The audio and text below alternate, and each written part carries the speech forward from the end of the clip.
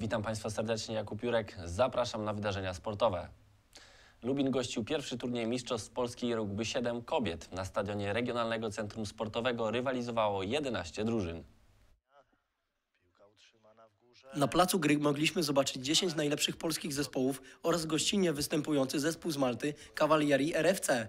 Impreza była doskonałą promocją tej dyscypliny sportu zarówno w mieście, jak i całym regionie, gdyż wszystkie mecze na żywo transmitowała TV Regionalna.pl. Zawsze można podglądać e, rugby od takich zagranicznych, zwłaszcza tych bardziej doświadczonych e, e, państw, bardziej rozwiniętych w, tym sporcie. Drużyna z Malty ma zgrupowanie akurat w Polsce i przyjechała sobie, że tak powiem, zagrać, pograć, sprawdzić swoje umiejętności. Dla drużyny gospodyń turniej był doskonałą okazją do sprawdzenia się na tle najlepszych drużyn w kraju. Ostatecznie miedziowe zajęły miejsce w środku stawki, a dokładnie szóste. Ten pierwszy mecz z Poznaniem jednak pokazał, że to doświadczenie zwyciężyło. E, od początku chciałyśmy narzucić, narzucić swój styl. Niestety tutaj no, Poznań e, właśnie, e, który ma w, no, w swojej kadrze, w swoich szeregach bardzo doświadczone zawodniczki, które też w reprezentacji Polski występują. No wicemistrzynie Polski z zeszłego roku, także no, my tutaj na pewno jako taki mocny trening traktujemy ten, ten turniej. Jesteśmy Beniaminkiem Ligi, uczymy się jak najwięcej. Myślę, że no, nie oddałyśmy łatwo tych punktów e, Poznaniowi, było tam ostro dużo kontaktu.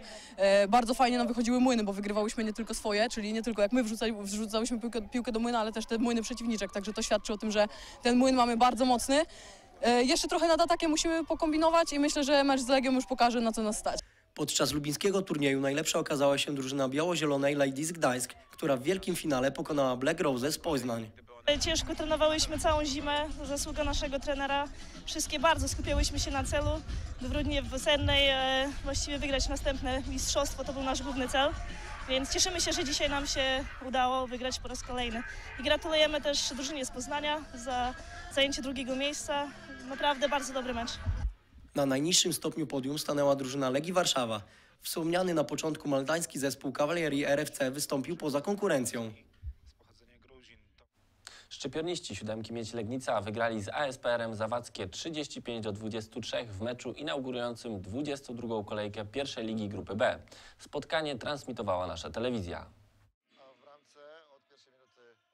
Można powiedzieć, że obecność kamer podziałała na Legniczan mobilizująco.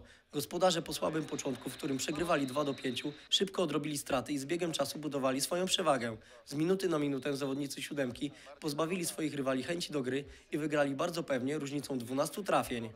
Zagraliśmy koncertowy, mogę powiedzieć, nawet mecz. Pomimo tego, że było opóźnienie, jakieś problemy z meczem, weszliśmy bardzo zmotywowani, bo dla nas to był mecz, który daje nam praktycznie stuprocentowe utrzymanie, także zagraliśmy koncertowo. Wynik nie odzwierciedla miejsca w tabeli, dzieli nas tylko nie jedno miejsce, ale na szczęście wyprzedzamy teraz drużyny zawadzkich i pewny byt w pierwszej lidze został osiągnięty. Pierwsze bramki w seniorskich rozgrywkach zdobyło dwóch świeżo upieczonych wicemistrzów Polski juniorów, Mateusz Drozdalski i Michał Przybylak. W dobrych nastrojach są również kibice piłki ręcznej w Głogowie. Chrobry rozgromił na wyjeździe meble Wójcik Elbląg 30 do 20. Dzięki wygranej Głogowianie są już bardzo blisko zajęcia trzeciego miejsca w grupie granatowej PGNiG Superligi Mężczyzn. Mecz dla nas niezwykle ważny. Wiadomo, że e, rywalizujemy z e, Wybrzeżem Gdańsk o trzecie miejsce e, w grupie granatowej i bezwzględnie trzeba było ten mecz wygrać. Całe szczęście, że wszystko jest w naszych rękach i potrafiliśmy zmobilizować się i zagrać dobre spotkanie w Elblągu, zdobywając trzy punkty i w zasadzie mając już e, taki jeden duży krok do tego, żeby to trzecie miejsce e, na koniec e, tej rundy zasadniczej było e, dla Głogowa. W ostatniej kolejce rundy zasadniczej szczypiorniści Chrobrego zagrają na wyjeździe ze Stalą Mielec. Bez większych problemów siatkarze Kretu ograli we własnej hali gości z Częstochowy. Kuprum wygrało 3 do 0 i zakończyło rundę zasadniczą na szóstej pozycji w tabeli.